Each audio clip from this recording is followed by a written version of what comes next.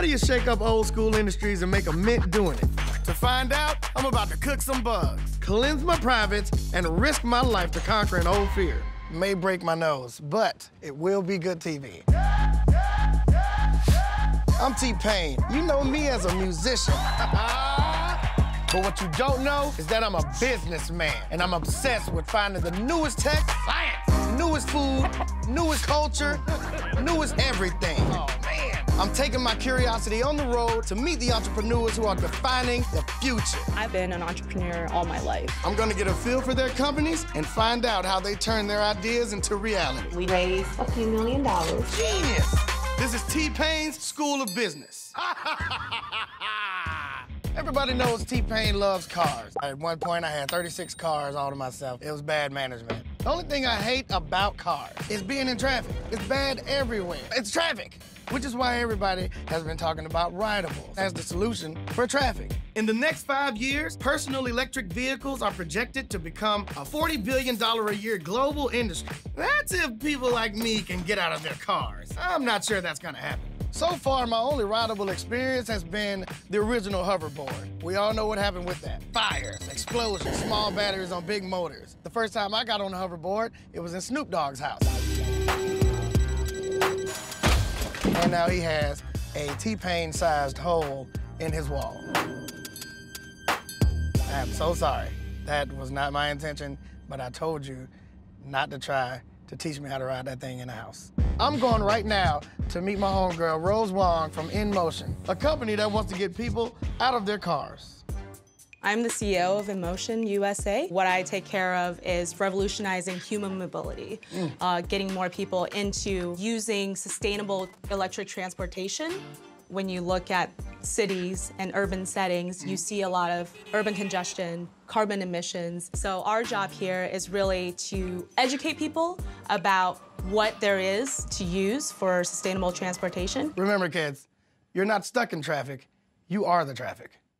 Rose is taking the car out of the car dealership. Instead of carbon emitting, traffic creating cars, Rose's dealership is selling electric rideables. Rose co created the scooter board, along with a group of Chinese engineers she found through social media. Her genius is that she came up with the idea to sell not only her creation, but a fleet of rideables. You're actually standing right next to the start of it all, scooter board. It looks like a scooter, but it rides like a skateboard. That's more my speed right there. what do we have here? These are the hover shoes. They're the first prototypes in the entire Western Hemisphere. Man. Basically, a hoverboard except without the middle bridge. That wouldn't be me. I'd immediately do the splits. Right there. Right in the middle. Would you like to try the hover shoes? I need space. I'm gonna fall pretty dramatically. Rose has me convinced to give these rideables a try. Now, the scary thing is, I'm pretty clumsy. I don't have that much of a good balance, so possibly may break my nose, but it will be good TV. And that's what we're here for. Oh, boy. Why don't you put one foot on, see how you like it, and then we don't have to commit to both if you're not feeling it. I'm already, because I'm... You want us to show you first? You're gonna have to. all right, all right. So you just start with one foot at a time.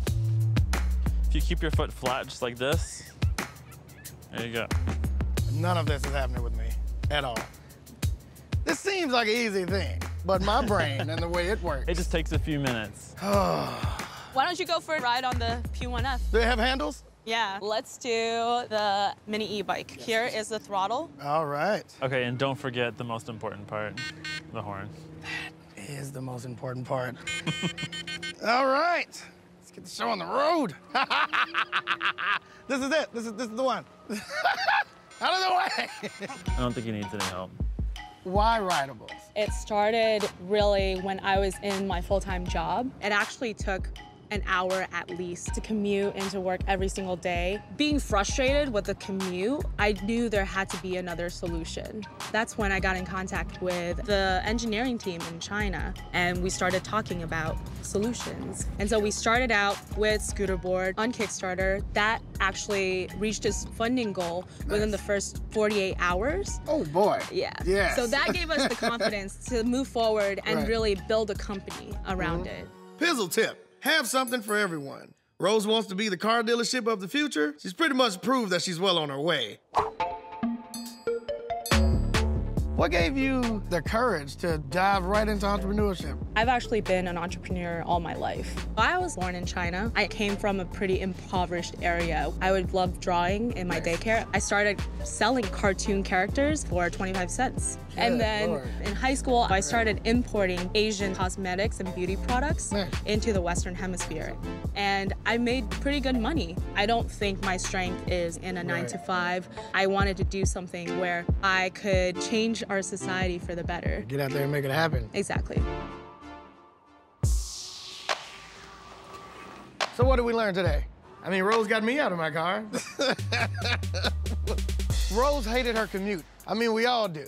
But instead of complaining about it, she did something about it. Start your own business around your problem, create the solution. Just find something you hate and start something to get rid of it. Can't do anything about your dad. You gotta figure that out on your own. Persistence, people. Laugh in the face of adversity, get your shit together, and maybe you'll be riding the streets in style like T-Pistol. Coming up on T-Pain's School of Business. Can there be a billion dollar maggot idea? I'ma see for myself. that was terrible. Then I meet a woman who's disrupting a whole industry. Would you want your penis to smell that way? You know anything about me, you know I don't f with bugs. Not even a little. Nope. But apparently, they're about to change the face of agribusiness as we know it. I don't know it, but I'm here to meet Sean and Pat, cousins and founders of Grubbly Farms. They create animal feed out of baked fly larvae. They're cooking food for chickens. Animal feed is a $70 billion a year business. And that's just in the US. I don't know if you guys know what a unicorn is, but it's definitely not a horse with one horn on its head that shits rainbows and pisses mayonnaise. A unicorn is Silicon Valley talk for a business that has a billion dollar valuation. Grubbly Farms has the potential to become a unicorn. I don't like bugs, but I do love money. What's going on? This is Grubbly Farms. Yeah. Surprisingly clean. So what's um what's the operation here? We're developing a sustainable processed fly larva animal feed. What was the motivation behind Yep, let's do this. Sean and I were, were living together at the time, and uh, he actually came to me and proposed this idea. Is like, I think bugs are gonna be the future, and uh, surprisingly enough, I'm actually terribly, terribly afraid of pretty much all bugs. We got something in common there, Yeah. so that's cool. All Actually, right. the original idea was to create a burger patty out of insects that we could sell in Southeast Asia or Africa as the kind of westernized version of what they eat over there. So we actually blended uh, grubs with black beans and baked it sure into a burger patty. And being completely honest, it was kind of disgusting. Yeah. we slowly realized pretty much how much big of an impact uh, raising insects can have on on the planet, and that's what led us down the the path to raising black soldier fly grubs. Here you can see our actual first product. So this is the dried larva. I am ready for the smell of this. They actually smell pretty good, Oh, that doesn't smell bad. right? smells like old bacon, but It's a bit nutty. Oh. See, that's not bad, right?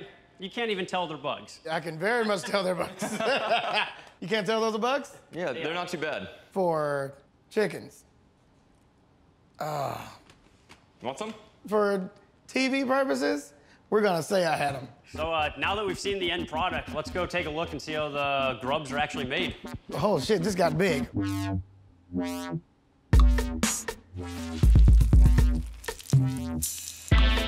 This is a bin of the grubs. So below this dirt, which is Oh god, it's moving. Ah, the grub poop, there's thousands Woo, and thousands boy. of these guys.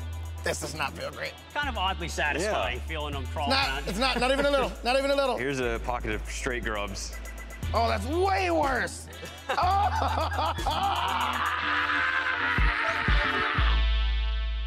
That was terrible. That was bad. That was bad. How do we get from this to what I held earlier? That actually starts with uh, basically breeding flies. How does one go about breeding flies? That's actually where the secret sauce lies. They breed very well under natural sunlight, obviously, but getting them to breed under artificial conditions is quite difficult, and that's actually what we've been focusing on. Jesus. Once the babies reach about this size is when we actually can start feeding them to food waste. In this barrel, we actually have some spent brewery grains that we pick up from a local brewery around here. The larvae will eventually come up to the surface, and we take a portion of our larva population, let them mature, and then continue the breeding aspect. Absolutely. But the majority of it goes into the rest of the processing. These eventually turn into our end product. Over 50 million tons of food waste every year are landfilled. And food waste actually decomposes into methane, a greenhouse gas over 20 times more harmful to the environment than CO2. So by the larva eating through this, it's uh, preventing greenhouse gases being emitted Right. and offering a solution to the food waste issue that the United States has.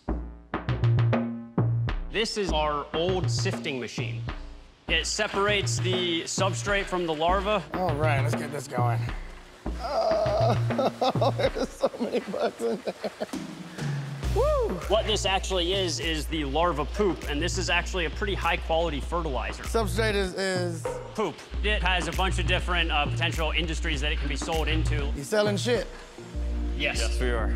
The super dope thing about Grubbly Farms is that their main source of income makes more of their source of income. Grubs become flies, making more grubs. Ka-ching! Grubs eating food waste. Companies will pay for that trash to be hauled away. Ka-ching! Grubs pooping becomes fertilizer. Ka-ching!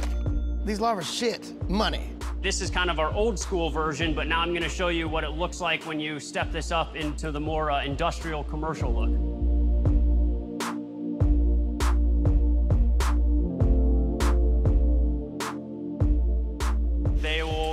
Of the oven dry. This is really what the product uh, that you pulled out of the bag earlier. Let me get some of that. Ah, they're not moving now. Nope. This is much better than earlier. Coming up on T-Pain's School of Business, I'll meet some chickens. Cute chick. See what I did? Grubbly Farm just found out the direct reason why you want to sell everything. It's just way more money. They sell the larva, they sell the shit. They make more larva. You come back, make that into food, more larva, and they just keep shitting and keep producing more money. But the one thing that could f up all that process is if the chickens don't like it. Tell you what, they got chickens in the back. F- Focus group right in the goddamn building. Wanna hold on? Is there a process? Is there a No, you just, certain put, you just put your hands around the wings.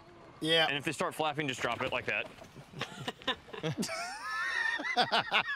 If you want to walk a couple Oh, shit. paces, and they'll come charging, hopefully. Please don't charge. You're charging. You're charging. I just said don't charge. You can uh, take it running, they'll come right after. Yeah, that, that's some Jurassic Park shit that I'm just not prepared for. Chickens do come from dinosaurs. Oh my God. One whole little peep. I will hold little peep. Yay! Oh, this is lit. Oh, don't walk off the edge, buddy. Cute chick. The focus group was a success. But I still got a lot of questions for Sean and Pat. Where do you guys see the business going? How, how big how big would you say this is gonna be? Being that there's a $70 billion pot out there. I think there's definitely going to be a billion dollar insect company within the next five years, if not multiple of them. We're really looking to work with as many other insect producers as possible just to help get the entire industry off the ground. Once it gets some traction, then that's where uh, the real competition will begin. You really got a dope product that kind of, I don't see how it's not paying for itself. It's getting there. It's the insect industry. There's still a stigma of insects in Western society, Right, but I feel okay. like we're on that tipping point that it's becoming adopted more and more over time. Here's my question. Do you even notice the flies anymore? Do you even swat at them anymore? Oh, no. it- Not I- the soldier flies. They're the most chill insect ever. Okay, that makes sense. Just feels like getting pooped on a bunch every time. It time. happens. Some people like that. Well, I guess you're not wrong. Sure, some people do. Grubbly Farms is what I now believe to be insect gold by offering up a more healthy and more sustainable alternative to everything that's happening in the animal feed industry right now. All that's left now is scale, growth, and, and billions of dollars. Coming up on T-Pain's School of Business, I learned that you can never be too clean. What's happening now? Am I playing a tree in the school play? Wow. Super hot in Atlanta. All the time. My back is sweating right now. Swamp everything. Nobody wants that. So I'm about to meet somebody who's gonna cure all this swamp ass, hopefully mostly for the club and afterwards. A lot of dancing going on, a lot of swampiness building up. Beatrice Espada. She's the founder and CEO of the Honey Pot, and she's capitalizing on the popularity of the wellness industry. In fact, the global wellness industry is now worth almost $4 trillion. There's only been a few companies telling half of the human population how to take care of themselves, and that's the vagina industry. Which I found out a lot of them are ran by old dudes. These big companies, they've been using the same formulas for 100 years now. And here comes Beatrice, cleaning up the feminine hygiene industry. Tell me what we got going on here. We are a plant-based feminine hygiene system. Mm, okay. So we do external vulva washes and pads and wipes. Just a whole slew of things. Everything that women need to take care of themselves. Okay. What was your thoughts on what we like to call big vagina? Most conventional menstrual products are cleaned with a chemical soup that is chlorine bleach, acetone, furans, dioxins, formaldehyde even sometimes. Women have a lot of issues because what they're using on a monthly basis, absorbing right, that. It's absorbing all those things. Oh boy. How does one go about getting into this? Getting into this business? yeah. Honestly, I had an almost year-long bacterial vaginosis infection. Okay Which now. that shit was terrible, right? That'll make you figure some shit out, won't Yep. it? And so, um, yeah, it's crazy. I'm so sorry. One night, you know how like right before you wake up, sometimes you dream. The lucid. Kind. Lucid kind Yeah, of a yeah. dream, right? And I was sitting down with one of my ancestors, just like I'm sitting and talking to you. And she basically gave me a list of ingredients and said, when you wake up, try it. Okay. I literally woke up, wrote it down, but I just put it together in kitchen ingredients. And I tried it, and it was like a gift, and it worked. That's how I cut my hair the first time. My uncle came to me in a dream and told me to do it. Are you serious? Yeah. But you so you see what I'm saying? Yeah, absolutely. Yeah, that's why So I'm not made- like, you're crazy. No, I'm, I so, totally it, so it. makes Yeah. sense. I was working at Whole Foods at that time. I was thinking like, damn, I see all these brands coming in here. Maybe I need to develop a brand. And then it was just like, light bulb. T-Pain tip. Follow your dreams.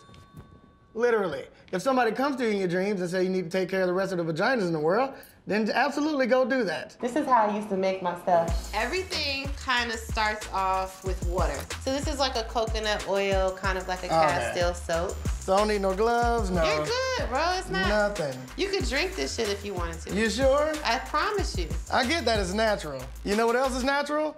Bears. They'll get you. Look at that. That sure did do that. Really nice See what's going on here. Would you want your penis to smell that way? It's a little minty. It's I just uh, yeah. different. The smell is amazing. Okay. Is there a big team involved? There is only six of us. Okay now. But we just wrapped up an investment round. We just raised a few million dollars. That's what the hell I'm talking about. And um, when you're in a consumer packaged goods company, you have to go to a supplier, which they call a co-packer. Okay. Right? They have testing, they Okay. have everything. So it's like having that type of investment partner. Yes, there's only six of us, but we've got like a machine back here that, Mm-hmm. Right, right, that we can just pull on for anything. Star Wipes. Bam. Now we're gonna practice what B preaches. We're gonna research the wellness industry right from the inside in a dope ass spa. So we're about to give you a veggie facial. We're about to feed your skin. B, when you started making your product, right? Mm-hmm. Did it seem like people thought that you were crazy trying to go to these different stores and companies? And... We got into Target, right? We were very fortunate because the buyer went to her hairdresser to get her hair done. And our hairdresser told her about Honey Pot. So in this instance, Target came to us. ah.